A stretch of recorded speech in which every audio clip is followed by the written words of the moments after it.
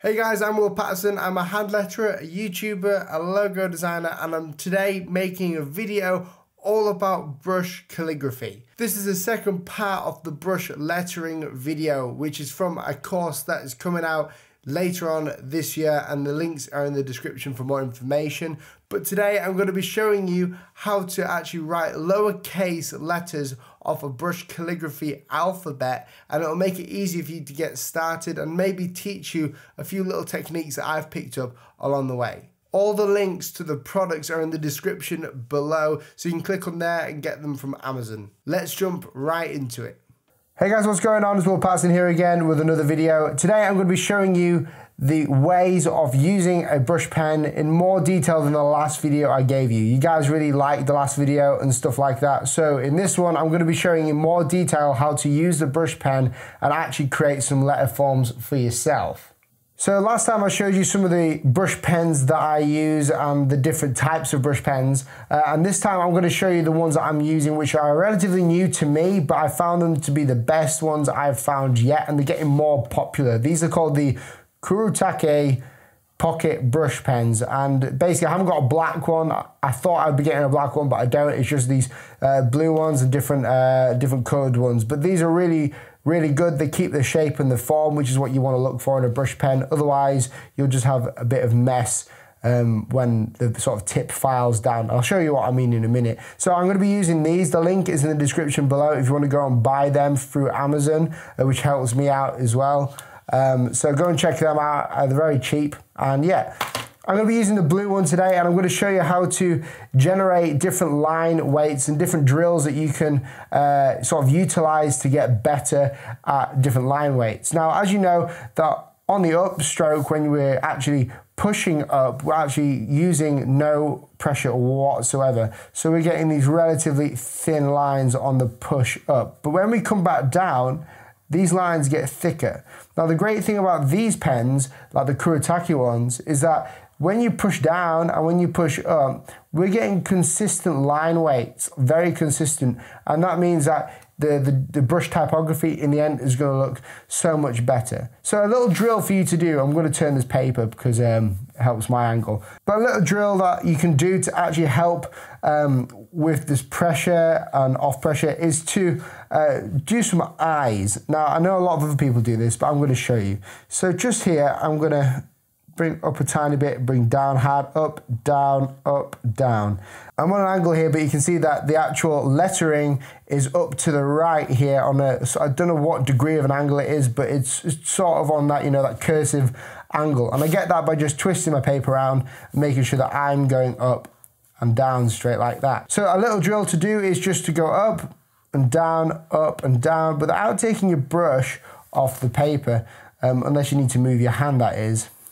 And as you keep going, you'll work out if you just do this, dark down, up, down, up, you'll create an N. So something I mentioned really quickly in the last video was how each letter form is based off another letter form in the alphabet. As in, they're all very consistent with each other, which makes it a hell of a lot easier for us to actually go ahead and use the brush pen. By that I mean that an I is basically just a line down and a thin line up. This is the connector part. But an N is also a line down and a thin part up, but then another line down, another thin part up. So you can see that the N is technically just two eyes, one of them is joined both ways, and you can see that that works really well there. With the letter O, it's a bit difficult because we're having to create two different line weights in one continuous stroke in a circle. And it takes a lot of practice to get the muscle memory to do this correctly. But there's a few ways you can do this.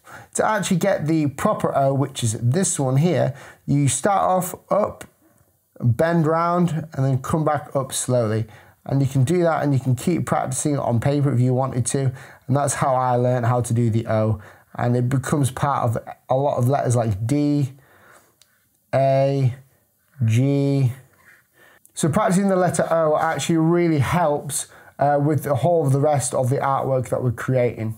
So that's basically the idea and the premise behind brush lettering. It's about the thicks and the thins and how we create those thicks and thins. And it's all about consistency. So I'm going to take you through the alphabet a little bit just down here to save paper, save the environment and all that sort of stuff. And I'm going to take you through the lowercase alphabet here. And I don't know if I'll speed it up, but you, you should be able to see it. There's an A. Now a B is a bit different, but we can do this in a couple different ways. We've got a big line here and I'm going to bring it back up and down. And the C is part of an O. Uh, a D is an O again, but with another thing. And the E is sort of like an O, but we come around like this. And then an F. It depends how you want to do an F. I always like, struggle with the, the ways to do it, but um, a lot of people do it like this.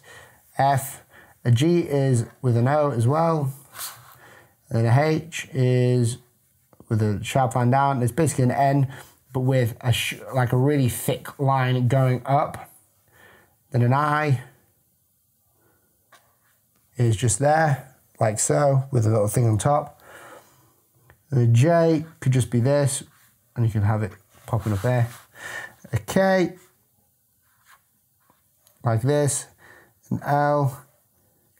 I'm not doing this very uniformly, I'm just trying to show you the uh, patterns that I'm creating here an M, an N, an O, a P, a Q, an R. Now, the letter R is a bit different towards uh, brush lettering and sort of calligraphy in general because instead of going the standard R, which is sort of like this, where we have a line down and thin line up, you can do this, but normally we go ahead and do the old school R, which is looking sort of like that, which is a thick line here, coming down to a thin and then back to a thick.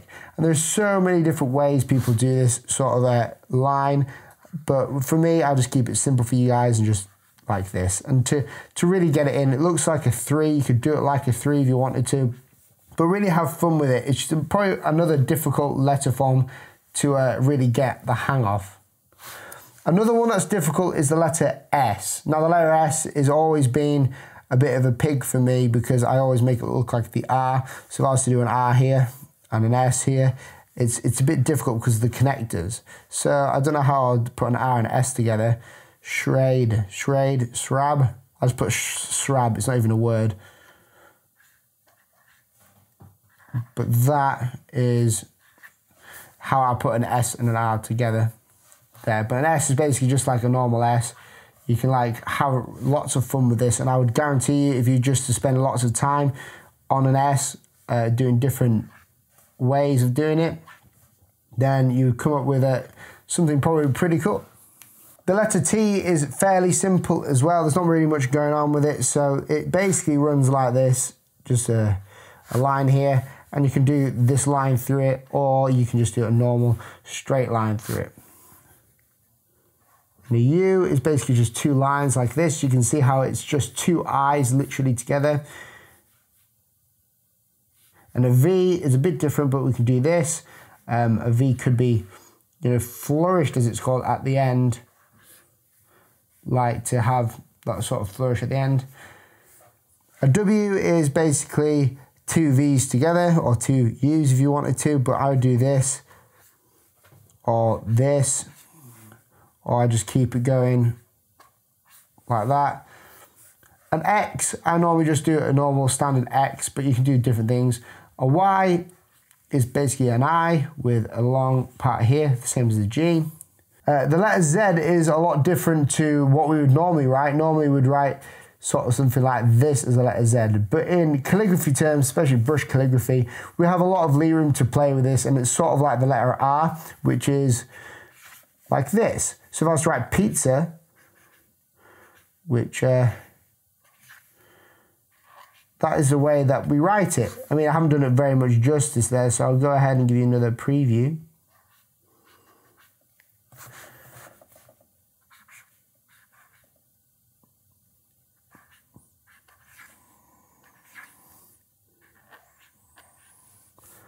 Like so.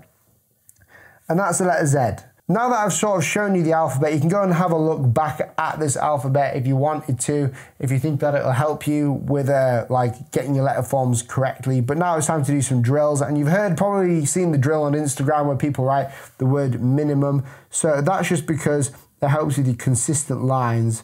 Uh, so depending on how you write it, um, you have different effects to it, minimum it's quite difficult to execute sometimes as well.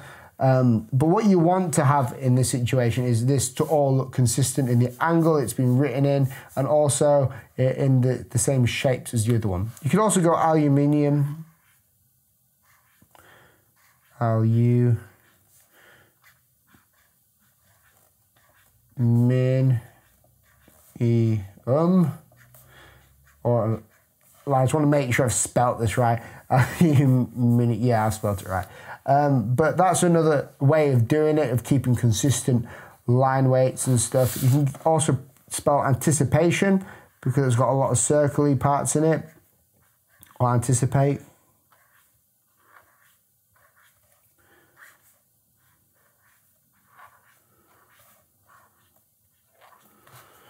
Run out of paper there for a sec.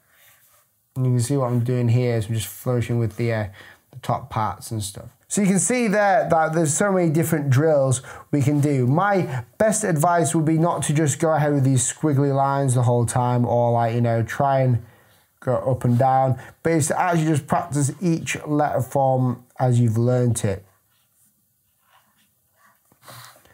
If you to practice each one properly, if you're wondering what paper I'm using, it's actually a dotted piece of paper. Uh, it's a pad that people use for writing. It's really good paper and it's really cheap and it's by a company called Rhodia, uh, as you can see here. And it's basically just uh, really good for calligraphy, uh, brush lettering, and it's really cheap. It's like five pounds for this whole pad and it goes and lasts for ages and you know it's a proper notepad uh, for you to use and so the link in the description is there Thanks for watching guys and I'll catch you next time with another video. Have a great day.